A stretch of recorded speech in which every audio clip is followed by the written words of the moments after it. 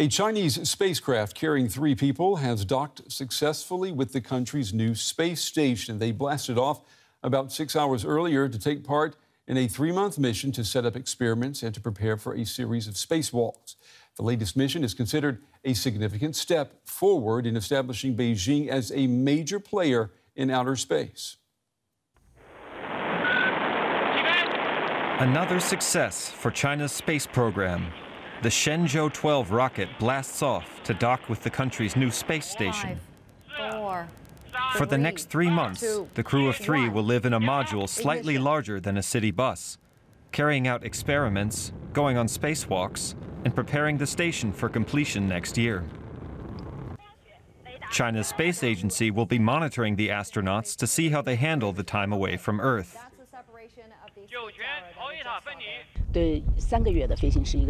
The three month mission is a long term human crewed spaceflight, which requires astronauts to stay in a relatively narrow and confined environment.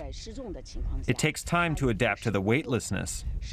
They will also have to cope with an environment filled with noise and vibration. It will be uncomfortable, and these effects will have a cumulative impact over time. China's space program is mostly homegrown. The United States Congress forbade NASA from cooperating with China 10 years ago.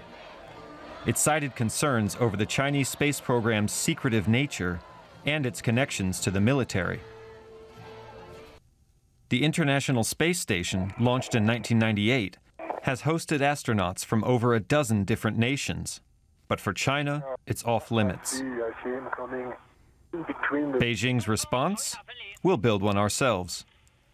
While the ISS reaches the end of its lifespan, China plans to complete its station by next year. And when it does, it will be in a position to decide who can come aboard. At this stage in construction, we're not yet considering foreign astronaut participation. But foreign astronauts are certainly going to enter the Chinese space station one day. There are a number of countries that have expressed a desire to do that, and we will be open to it in the future. While there's still work to be done on the space station, China is already looking ahead to its next project, a proposed lunar base that it's planning together with Russia. And back here on Earth now, I'm joined by Keith Cowing. He's a former NASA employee, now editor of the website nasawatch.com. He joins me from Washington, D.C. Keith, it's good to see you again. Um, how significant of an achievement is this for China's space program? Well, up until now, only two nations, uh, the U.S. and Russia, have really built large space stations in orbit. And uh, now that China has joined the club, that is a singular accomplishment. So um, it, it's a big deal.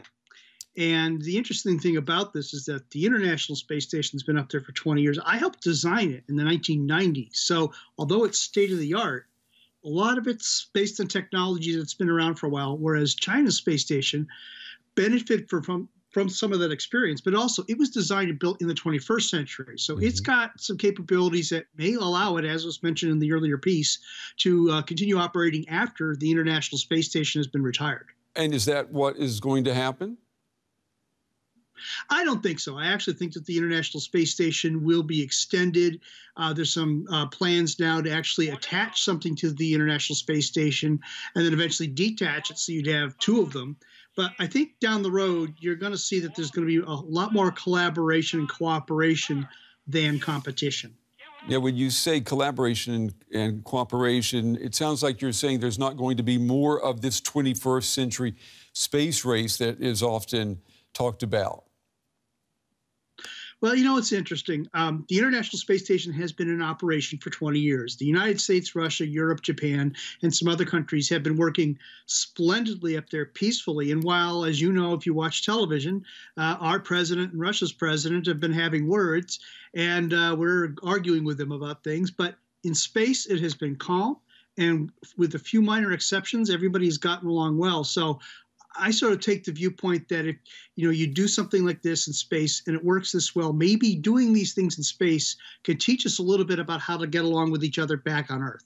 I mean, do, do you see, I'm thinking maybe 10, 15 years into the future, we know the Americans want to go to the moon in the next decade. Um, Are, are there possibilities for more cooperation here?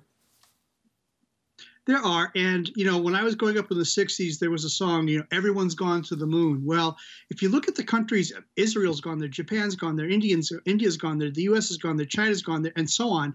More countries and now private companies want to go there. So, if anything, the the the ability to prevent somebody or compete somebody out of, uh, of this activity is going to become less and less possible as more and more different parties become involved.